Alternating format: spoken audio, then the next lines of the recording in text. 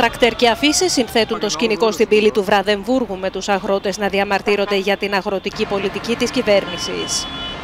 Περισσότερα από 5.000 τρακτέρ πλημμύρισαν τους δρόμους του Βερολίνου, καθώς το παρόν έδωσαν αγρότες από όλη τη Γερμανία.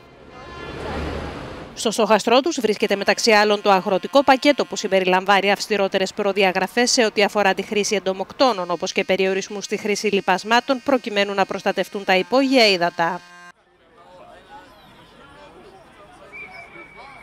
Η παρουσία των τρακτέρ στη γερμανική πρωτεύουσα προκάλεσε κυκλοφοριακό χάος. Ähm, Χρειαζόμαστε μια καλύτερη αγροτική πολιτική ώστε να μπορέσουμε να συνεχίσουμε στη γεωργία. Δεν μπορούμε πάντα να συμπληρώνουμε αιτήσεις και να ακολουθούμε νέους κανόνες. Θα πρέπει επίσης να μπορούμε να δουλεύουμε και να υπάρχουμε.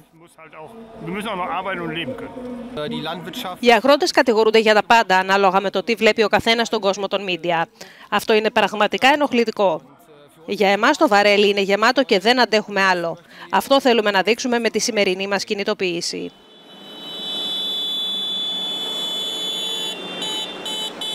Η Υπουργός Γεωργίας Γιούλια Κλέκνερ, αν και έδειξε κατανόηση για την αγανάκτηση των αγροτών, χαρακτήρισε την εφαρμογή των προβλεπόμενων μέτρων αναγκαία, καθώς πρόκειται για δεσμευτικούς κανονισμούς της Ευρωπαϊκής Ένωσης.